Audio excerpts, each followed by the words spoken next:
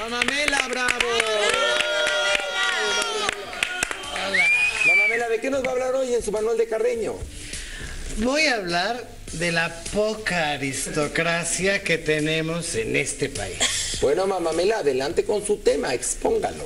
El otro día, mi amiga Viviana Corcuera me invitó a una fiesta, la cual resultó ser el 40 aniversario de una revista que se llama Cosmopolitan o algo así. Supuestamente iba a haber pura gente bien. ¿Y cuál no sería mi sorpresa? Que de entrada veo que la reina del convivio era una tal Kim Kardashian.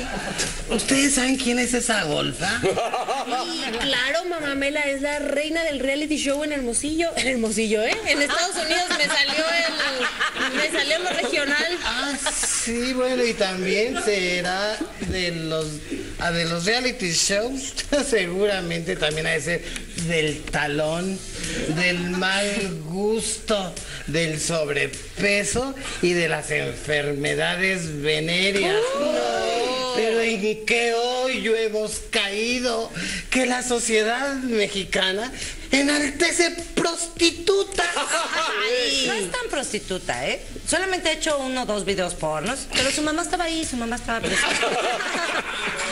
Ahora, la presencia de la tal Kim Kardashian estaba al nivel de la concurrencia. ¿Por qué? Pues estaban puros actorcillos y actricillas de Televisa que más que artistas parecían delincuentes o meseros.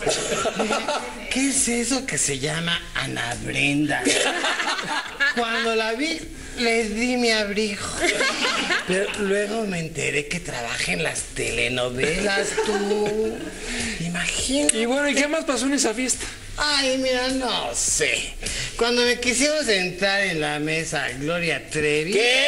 Uy, claro, así como te pusiste ahorita. ¿Sí? Así dije, ¿qué? Y uy, pero no sin antes gritarle a ella, a las estrellitas de televisión y a la tal Kim Kardashian, bola de gatos, dejen de ensuciar mi país.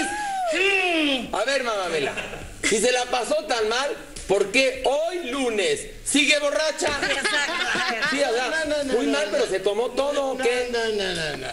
La borrachera la agarré inmediatamente después. Digo, para poder pasar el trago amargo. Y total, me seguía César aquí con ustedes, fíjense. Por cierto, los invito a todos a que la sigamos en el pie de colchón. Y, antes de irme me despido como siempre con las dos M's. De menos meretrices. Se van a quedar sin trabajo.